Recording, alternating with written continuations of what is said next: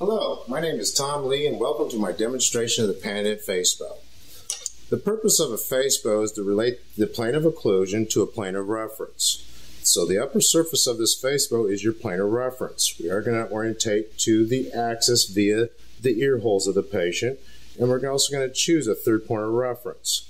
Some doctors have actually palpated the lower border of the eye to put a spot on the nose so that they can use an orbital pointer to level the front end or to designate the third point of reference. Research has also been done to show that the lower border of the eye is approximately 22 millimeters below nasion, so many systems have been standardized with a nasion relator. This nasion relator can just slide into the little slot section here in the front of the face bow. We can tighten in place here. I like to pull the nasion back away, tighten in place here, and if we put this onto a patient, go ahead and reach up and put this in your ears like a stethoscope. And then I can tighten the large screw here, and I can raise or lower this till I get to nasion relator. That you can see when this patient's sitting erect looking forward that there's a cant upward to the face bow. And although this may be related functionally correct to a plane of reference in the axis, it may not be aesthetically correct when we get to the articulator. So, we're going to show you a new system we developed. Go ahead and remove that from your ears. I'm going to remove the standard nasion relator, and we actually have an adjustable nasion relator. The adjustable nasion relator has two extensions. One extension here goes from 25 to 35 millimeters, and the second extension here goes from 35 to 45 millimeters. I like to start with the 35 to 45 millimeter extension and start at the 40 millimeter mark. So now we'll go ahead and attach this to the face bow by lining it to the slot and tightening the screw on the bottom. And now we can also attach our bite fork assembly. And the bite fork assembly has a shorter end and it also has a longer end. And we like the shorter end to go into the crossbar, but some people would inadvertently put the wrong end into the crossbar. So we designate a little A here on the top of the pin that also coordinates with the little A you see here onto the top of the crossbar. So we just line A with A, make sure the flat is towards the screw, and then we can tighten that screw, locking the stem assembly in place. So now we have the face bow ready for the patient use. So what we'll do next is go ahead and get the plane of occlusion. We do that with a bite fork. It does have a dental midline mark here, and we can use either wax or bite registration material but we also developed a little Panadent bite tab, which is a red impression compound that's been put on a self-adhesive strip. You can just simply peel a corner of the bite tab off of the paper and stick that over each molar area.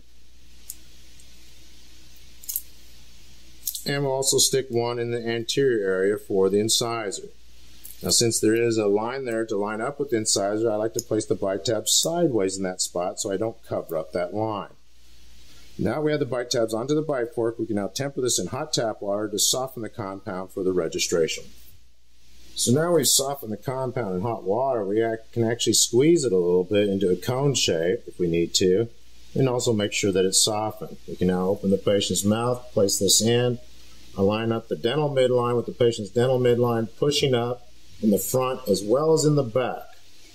Then we take this out and we can see they've got indentations of both the molars as well as the incisors. We can now put this in cold water to harden the compound.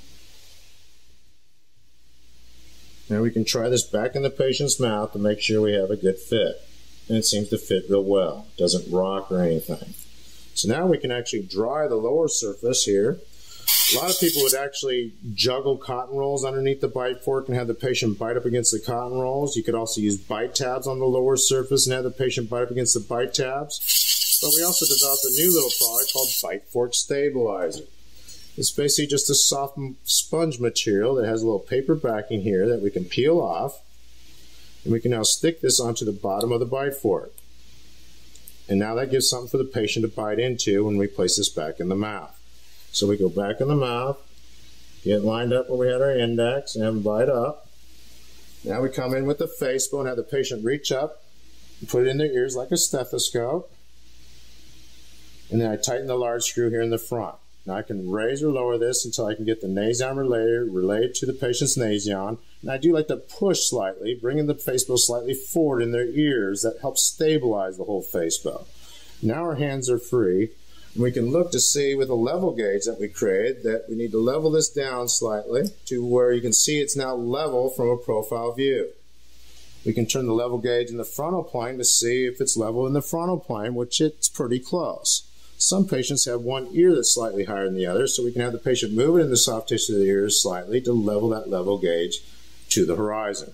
We've now leveled our plane of reference so we can capture the cants and tilts of the occlusal plane, how it looks in the patient's face, and get that same look on the articulator. So now we have our hands free so we can go ahead and attach the clamps. And we swing this so that the clamp goes all the way towards the patient. And I like to grab that clamp to offset any torque and we tighten both these screws really, really tight, as tight as you can make them. And then we tighten the vertical post here as tight as you can.